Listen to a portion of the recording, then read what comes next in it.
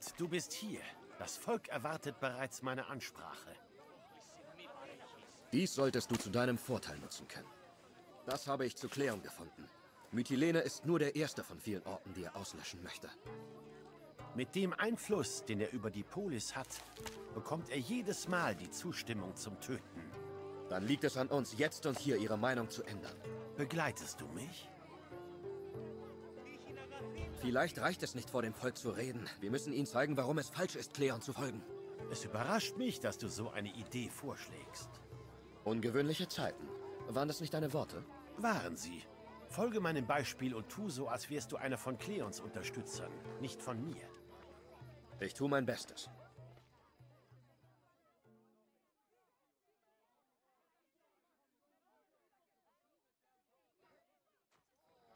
Aber Sokrates, Kleon ist ein Mann des Volkes. Sag mir, wenn du jemanden mit dem Schwert verletzt, bist du dann nicht verantwortlich? Doch. Was, wenn du jemanden anheuerst, um einem anderen zu schaden? Bist du dann auch verantwortlich?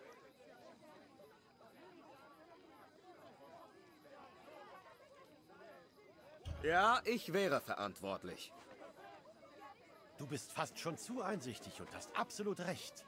Wenn jemand durch irgendetwas zu Schaden kommt und wir irgendwie beteiligt sind, dann sind wir auch verantwortlich. Wir sind uns einig, dass man anderen auch anders schaden kann als mit eigener Hand. So ist es. Dann lass mich dir noch eine Frage stellen. Wem vertraust du? Der Mehrheit oder dem Einzelnen mit mehr Fachwissen?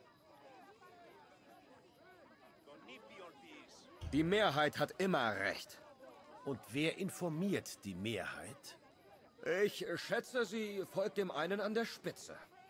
Und wenn du erfährst, dass die Person an der Spitze die Menschen, denen du folgst, belogen hat, was würdest du tun? Wer mich anlügt, hat mein Vertrauen nicht verdient. Natürlich nicht. Denn schließlich, wenn er dich einmal angelogen hat, wer sagt, dass er es nicht nochmal tut?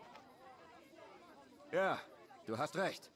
Dann stimmst du also zu, dass jemand, der lügt, kein würdiger Anführer ist. Natürlich. Oh, Athene! Und ihr? Würdet ihr nicht zustimmen, dass man auch für den Schaden, den ein Mittelsmann verursacht, indirekt verantwortlich sein kann? Würde ich! Und würdet ihr jemandem folgen, von dem ihr wisst, dass er euch zu seinem Vorteil angelogen hat? Natürlich nicht. Eben. Und aus diesem Grund möchte ich euch bitten und beschwören, hört mich an. Der nämlich, dem ihr momentan folgt, lügt zu seinem eigenen Vorteil. Cleon hat euch angelogen, um eure Zustimmung für den Angriff auf Mytilene zu bekommen. Und wir haben Beweise, dass er es wieder tun wird. Wird dieses Schiff erst in Mytilene sein, hat niemand dort eine Chance zu überleben. Jetzt, wo ihr die Wahrheit kennt, könnt ihr eure Entscheidung zurücknehmen. Wir müssen erneut abstimmen. Das Leben dieser Menschen liegt auch in unserer Hand. Das Schiff muss umkehren.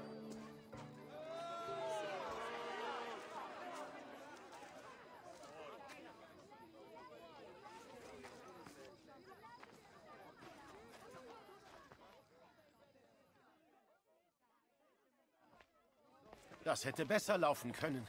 Aber auch so, glaube ich, kann das Volk die Beweise, die wir vorgelegt haben, nicht ignorieren. Wir haben nur geredet. Wir haben weit mehr getan. Wir haben mit Beweisen und Argumenten für einen Ausgang gesorgt, der nicht nur Cleon schaden, sondern hoffentlich viele Leben retten wird. Aber reicht das auch? Ich glaube, Cleons Untaten werden sich in Athen herumsprechen. Die Athener lieben ihre Stadt und wofür sie steht. Niemand kann sich wünschen, dass sie fällt.